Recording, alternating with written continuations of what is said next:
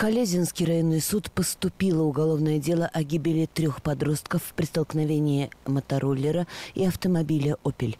Как мы уже сообщали, это случилось ночью 29 июля прошлого года на 135-м километре автодороги Сергиев-Посад, Колязин, Рыбинск, Череповец в Колязинском районе области.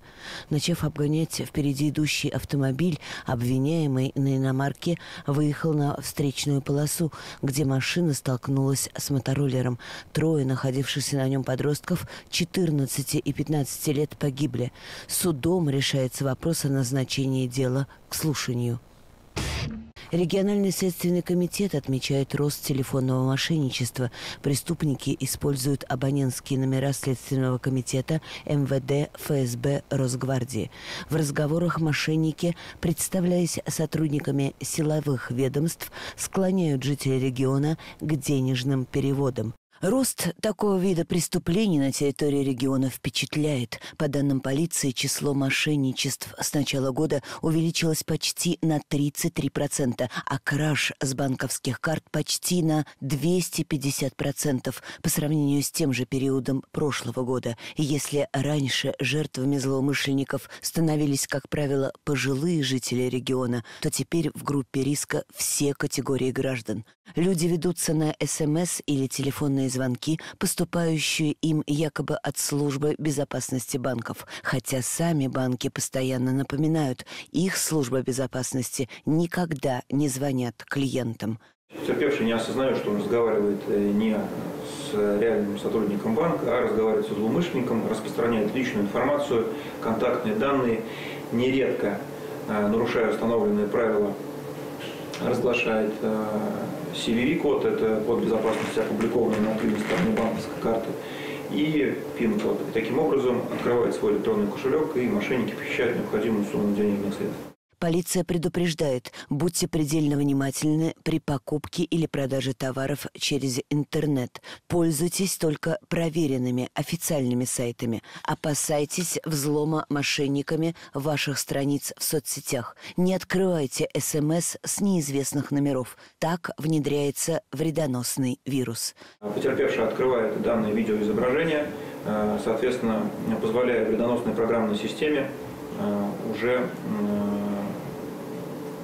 ну, скажем так, внедриться в мобильное устройство, определить э, банкинг, которым пользуются потерпевшие, списать необходимую сумму денежных средств и потом самоудалиться.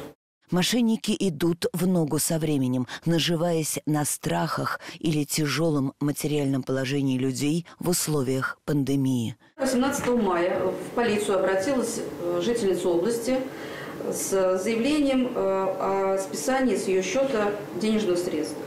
Э, эта женщина на неустановленном сайте обнаружила ссылку с предложением денежной компенсации гражданам в условиях пандемии – Женщина попала на сайт «Дублер», копирующий официальную страницу. Сообщив мошенникам персональные данные банковской карты, она не только не получила обещанную компенсацию, но и потеряла накопленные сбережения. Все компенсации, предупреждают полицейские, оформляются только через портал «Государственные услуги».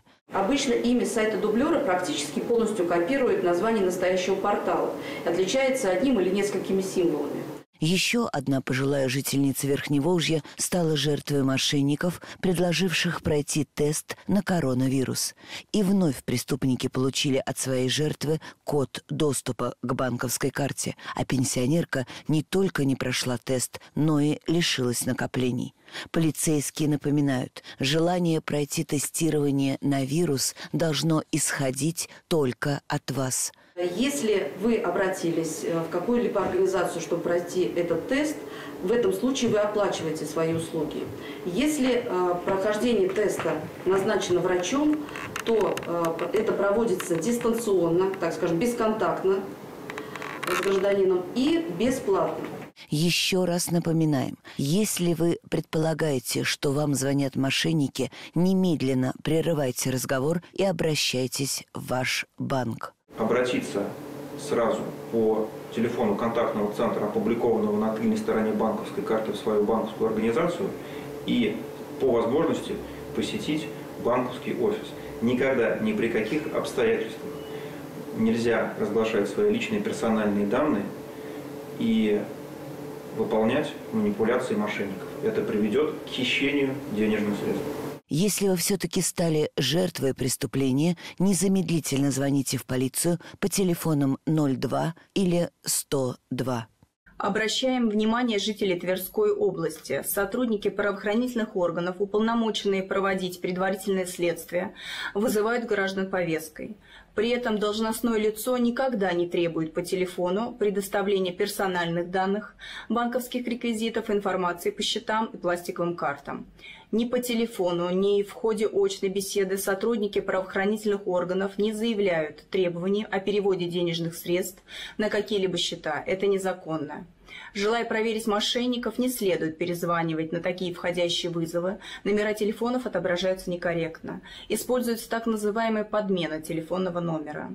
Оптимальный вариант – вручную набрать телефонные номера, указанные на официальных сайтах правоохранительных структур, от имени которых вам звонят. Любые предложения от имени правоохранительных органов, например, помочь в поимке преступника путем перечисления денег на указанные собеседником счета – либо с целью обезопасить сбережения, это явный признак мошенничества. О таких фактах необходимо сразу сообщать в правоохранительные органы. Если телефонный мошенник представился, позвоните по телефону доверия ведомств и проверьте информацию, сообщенную звонившим. Будьте бдительны.